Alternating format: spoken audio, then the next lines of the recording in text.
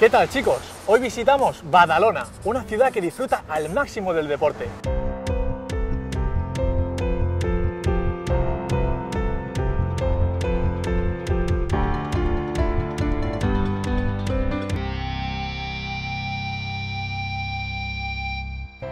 He quedado aquí en el centro de alto rendimiento con Marc Gené, piloto de Fórmula 1. Juntos iremos en su coche hasta el cole. Bueno, Marc, eh, muchísimas gracias por concedernos esta entrevista. De nada. Aquí en tu coche por acercarnos al cole. Hay que cuidarse físicamente y mentalmente para subirse a un Fórmula 1. Sí, hay que cuidarse mucho a nivel de alimentación. Eh, en el fondo es una alimentación muy equilibrada, tampoco es que tengas que estar obsesionado en, en cuántos gramos me como de cada cosa. ¿no? Luego es muy importante también el tema de las horas de sueño, o sea, descansar bien, dormir bien y luego eh, una buena preparación física. O sea, tienes que hacer, eh, hago mucho deporte y tienes que hacer mucho deporte. Cuando eras pequeño, eh, ¿cuáles eran tus ídolos? Esos referentes que tú querías, querías emular en el, en el, día de mañana. Eh, uno fue mi hermano, que al final él no llegó a la Fórmula 1, pero se, dedicó a nivel, se ha dedicado a nivel profesional y la verdad es que es un piloto que se hubiera merecido haber llegado a la Fórmula 1 y fue para mí un, me ayudó mucho él. ¿no? Y luego, para mí el piloto más carismático, más especial que ha habido en, en la Fórmula 1 fue Ayrton Senna, que por desgracia pues, uh, murió en un accidente de coches, pero eh, es el piloto más especial. Luego puedes hablar de Schumacher, de Alonso, que son pilotos fantásticos, pero mis dos referentes de cuando yo era muy joven eran uh, mi hermano y Ayrton Senna. Ya verás qué contentos se van a poner los chicos cuando os deben aparecer por allí. Genial. Están todos esperándote.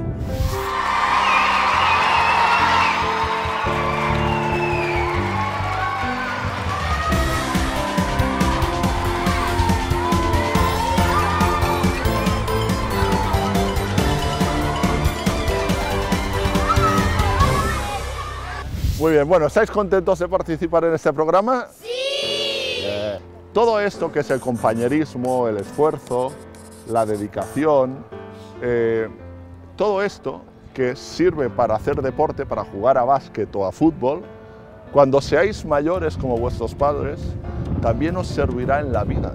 El deporte es muy importante, no, no solamente eh, consistirá en ganar y llegar al final, sino que todo lo que queda por el camino será importante. Buenos días. Bueno, antes que nada tenéis suerte, ¿eh? sois chicos, con, chicos, niños y niñas con suerte que hayan escogido vuestra escuela. ¿Conocéis un poco la Fórmula 1? ¿La habéis visto? Y queréis que gane Fernando Alonso, supongo, ¿no? Bueno, no sé si todos, la mayoría. Se puede llegar a ser Fernando Alonso en cualquier deporte, ya sea el mundo del motor, el básquet, el atletismo, el fútbol, pero hay ciertos valores, hay ciertas cosas que para ser un campeón en el deporte o en cualquier otra modalidad que queráis hacer, tenéis que hacer. O sea, Alonso o Schumacher, estos pilotos todos hacen lo mismo. Y en primer lugar, es muy importante eh, un poco lo que es la, disciplina. ¿Qué es la disciplina? ¿no? Pues ser una persona que seas muy constante con tu trabajo. Esto es como cuando estudias, no puedes estudiar solo un día y el examen luego al cabo de una semana, tienes que estudiar todos los días, pues en el deporte igual, te tienes que practicar realmente todos los días y con muchas ganas y disfrutando, es lo que os decía luego antes la directora, esta competición, que algunos igual llegáis, no es lo importante llegar o no llegar, lo importante es realmente disfrutar durante el camino y cuanto más bien te lo pasas, mejor haces las cosas. ¿Cuántos años llevas en Fórmula 1? Llevo 14 años en Fórmula 1. ¿Qué otro deporte te gusta? Me gusta mucho el tenis. Si un compañero tuyo, si ganara, ¿tú cómo te sentirías? Bien, porque trabajamos por el mismo equipo. ¿Con cuántos años comenzaste la Fórmula 1? Se empieza en el karting, ¿vale? Cualquiera de vosotros que quiera dedicarse al mundo del motor, de los coches, en los cars se empieza. Y en los cars de alquiler, ¿vale? Que, cual, que vuestros padres podrían, podrían llevar. Y allí empecé con unos 8 años aproximadamente, 8 o 9 años. ¿Cuánto fue la última vez que tuviste un accidente? Eh, Qué agradable.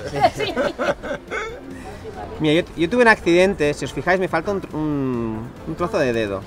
Y esto me lo corté y esto con mucho cuidado porque esto me pasó con un kart, con la cadena, ¿vale? Pero con la bici, por ejemplo, nunca pongáis la mano donde hay la cadena, donde hay los radios de la bici, porque los podíais cortar. Esto me pasó cuando era joven, tenía más o menos vuestra edad. El hecho de que una persona explique su experiencia y, les enseñe desde la experiencia que ellos tienen, pues siempre les despierta como más curiosidad, quieren saber, eh, les interesa mucho los premios que hayan podido ganar o hasta dónde han podido llegar y entonces eso es una manera de también llevárselos a, a su, ¿sabes?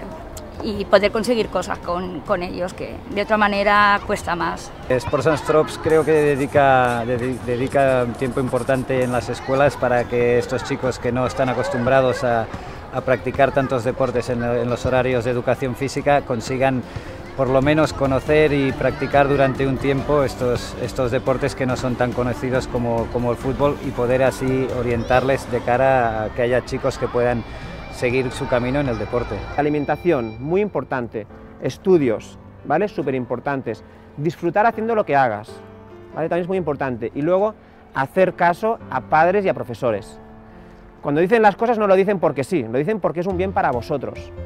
Entonces, de verdad, siempre, ya sé que hay veces dices, jo, ¿ahora qué me dice otra vez? No, tienen razón en lo que dicen. Es un probador de Ferraris que, que prueba los, los coches. Y para ver si, si, van bien los motores, si va bien el coche y todo eso. Me he sentido genial y mmm, me ha gustado cómo lo has explicado, lo del deporte.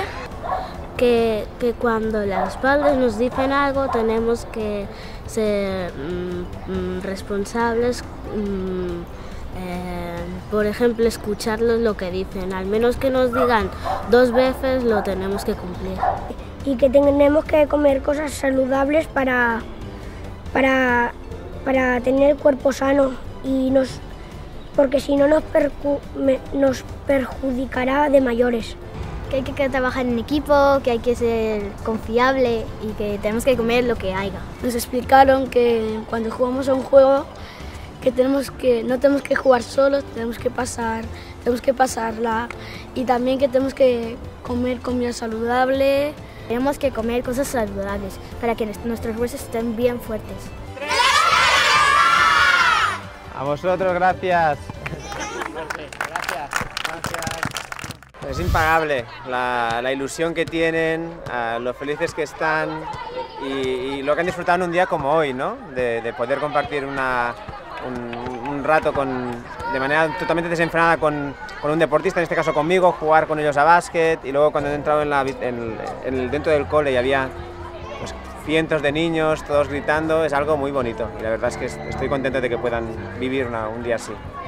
Hoy hemos visto la importancia de los valores en el deporte, la necesidad de tener constancia para conseguir las metas más altas y sobre todo que hacer deporte es fabuloso.